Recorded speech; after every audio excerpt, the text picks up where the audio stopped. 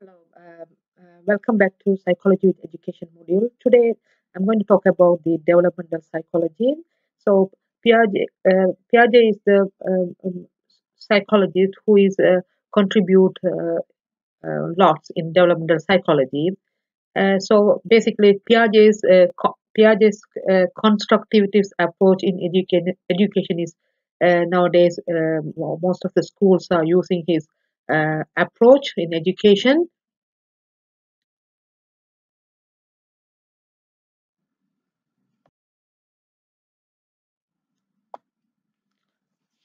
First, before that, I uh, I would like to talk. I would like to talk about who is this Piaget.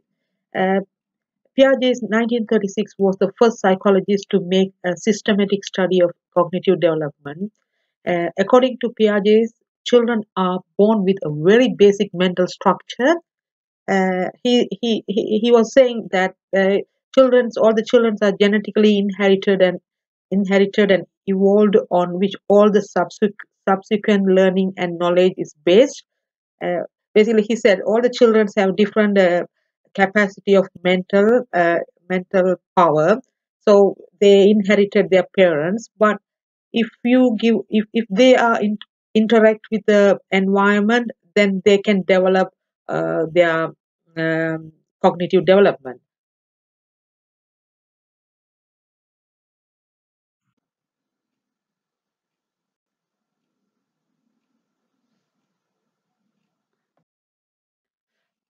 What is constructivism and how it impacts on education?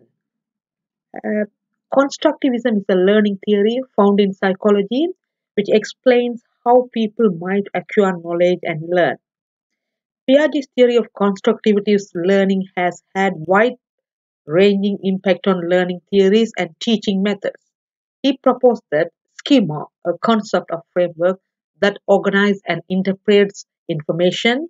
So, assimilation and accommodations are very important aspects in his theory. His theory suggests that there are four stages in child development which all children pass in particular order.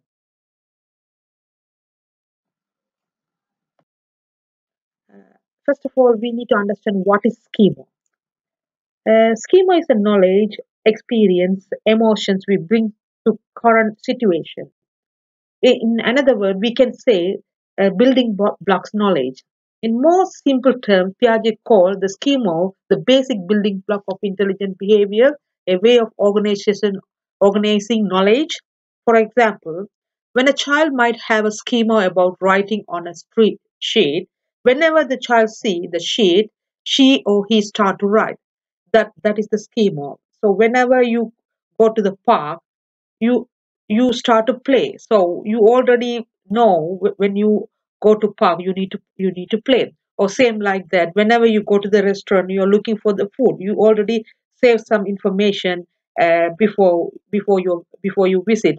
So these are the schema. These schema schema script uh, is uh, saved on on uh, each person's memory. So they use they will apply when the situations come.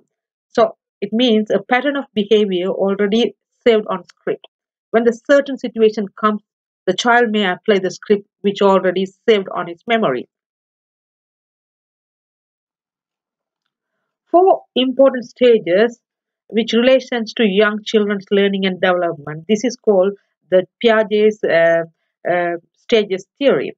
He mentioned that uh, sensory motor stage is zero to two years. It, it means babies and toddlers use their sense and motor skills to understand the world.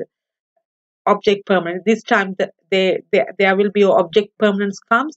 So the baby is always uh, licking the cups or licking the cubes or anything. So they just use the sense to understand the world and kicking the floor, kicking, so kicking, kicking with the um, hand or leg.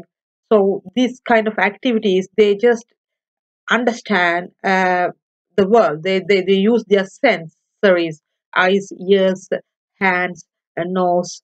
Uh, so this is called the sensory motor stage. Then next stage is uh, his uh, stage. Next is pre-operational stage. It's two to seven years. So it means uh, the children are always representing things with words and images. So always they represent represent the things with words and images. For example, the children use the banana to talk, pretend to like a phone, using a phone, or children uh, use a, a, a broomstick to play the cricket or play something.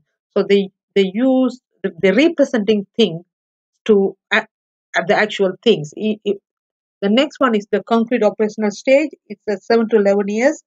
So this stage the children normally a child start to think logically about uh, uh, concrete events. So he just did an experiment. His experiment was very famous. It's called conservation task uh, and the mathematical transform transformation. So this is a so this is concrete operational stage. The next stage is the formal operational stage. It's over 11 years old. So children may always think abstract thinking. Uh, they're always logical thinking and potential for mature moral reasoning. So in this time, uh, the children are very ready to do some uh, problem solving or mental or spiritual uh, test or, or so they are very um, in this stage they are very very confident to do do do, do those logical thinking logical or abstract uh, uh, create ab- abstract uh, thinking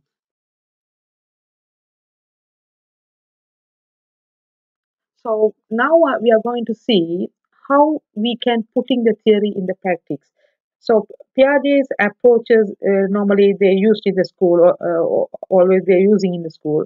So in here i just want to mention how this theory into practice. So in in in when you see the classroom for example active involvement in environment it is very important that children need to interact with environment uh, example problem solving higher order thinking skill.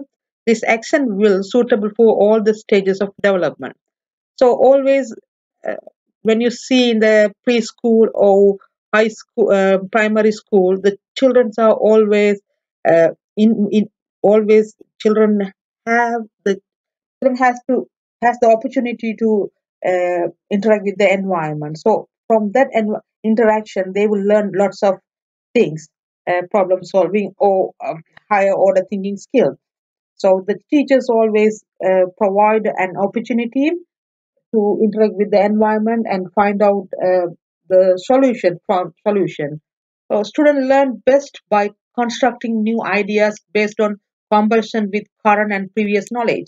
So this is uh, simply called Piaget schema. So children already learn in their preschool or in their home, then they just apply in the in the classroom. So they just comparison their old old schema to new uh, schema. So they, they automatically they use their schemas. The next one is benefits of pretend play. So though it's, it's already I said it's a pre-operational stage, two to seven years. Uh, so the benefit of the pretend play is always strengthens mental ability and contribute to cognitive and social development. Uh, so pretend play always uh, gives strengthen the mental uh, power. Um, that's what that's what always the children in in the play schools or in the primary school you can see the teachers always make the children to dressing up um, event and uh, so teachers mostly include includes in constructivism in their classroom. Example: group project, experiment, individual or group, or take children to field trip, visual context film. So these things like formal operational stage over 11 years.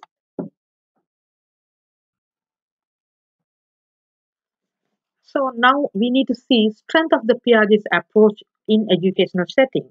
So, so how this one Piaget's approach uh, help the educational setting.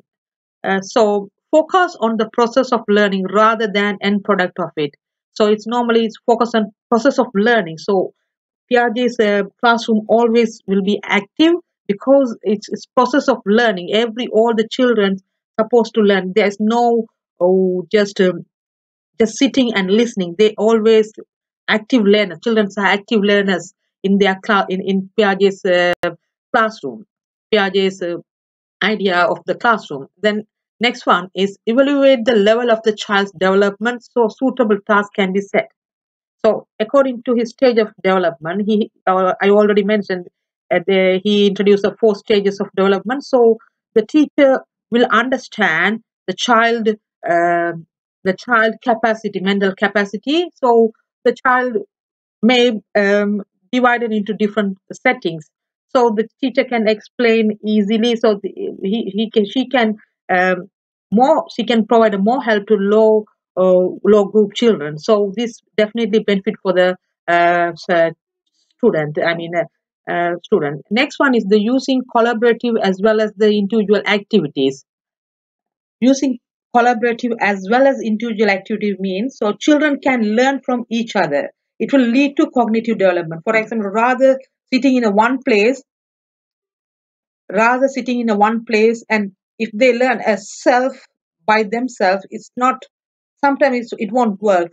So if if they do any project within a group or within a or with two uh, two of the uh, two students, it definitely uh, motivate them, motivate the students, and they enjoy to do this project. They won't feel any bored.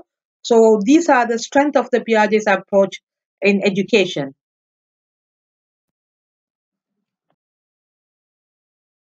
The next one is weakness of Piaget's approaches in educational setting.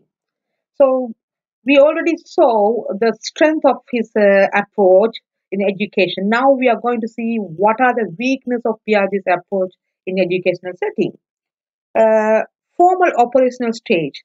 When children reach 11 years, they're simply not able to engage with his idea of hypothesis scientific thought. Uh, for example, Keating 1979 reported that 40 to 60 percentage of college students fail at formal operations tasks. He, Piaget conducted an experiment uh, uh, regard, regarding about the concrete formal operational stage, but he half of the children fail his uh, formal formal operational task. So it's it's one of the weakness of his uh, idea. The next one, the next one is he failed to consider the effect that the social setting and culture may have on cognitive development. So uh, he didn't consider about the social uh, and cultural uh, and um, background of the child. So it's it, it's definitely it will give impact on the ch- child development. So he didn't mention those things. He he he ignored it. Um, the next one is some of the experiment very difficult for children to understand. Uh, yeah, because he done a, mountain three mountain task. It it is very uh, it is very children fight found a little bit confused about this about this experiment because you can't i didn't mention the uh, mountain task you can go to the uh, youtube and uh, find out piaget's three mountain task and you will understand about his three mountain task so it is bit confused uh, confused the children so he didn't get the actual his results is not equally validity not equal validity yeah so next one is Piaget may have may underestimate child's ability. Uh, so he done uh, again the conservation task between four to five years old children.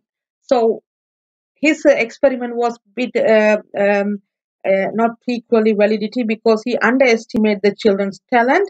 So again, you have to go go to YouTube and find out what is his conservation task.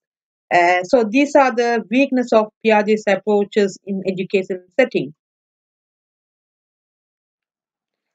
Finally, um, I just um, conclude uh, Piaget's uh, educational approach. Uh, it means constructive approach in education. I'll just come and see you another uh, approach. Uh, see you soon.